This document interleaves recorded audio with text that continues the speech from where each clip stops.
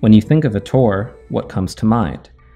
The idea of going on a tour can conjure memories of a packed motor coach bumping through a city and exploring with 40 of your closest friends. Others may think back to an intimate museum tour or being led into a home of a local chef for a delicious dinner. It could be access to a guided walk purchased from a booth in a city center somewhere, or a neighborhood tour purchased through Airbnb. The truth is, the tours and activities space is undergoing a radical reinvention of what exactly it means to experience something on vacation. The size of the global tours and activities market likely hovers around $150 billion annually, according to Skift research estimates, and is expected to grow 9% annually in coming years.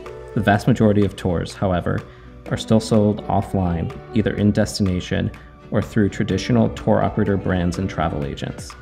Around 80% of the sector's gross bookings take place offline, according to technology provider TrekSoft, and just 13% of those bookings come from operators with real time booking connectivity in the field.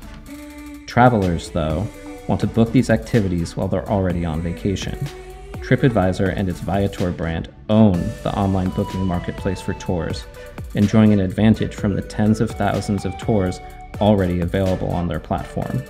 It also helps that many travelers use the TripAdvisor app for information in destination during a trip.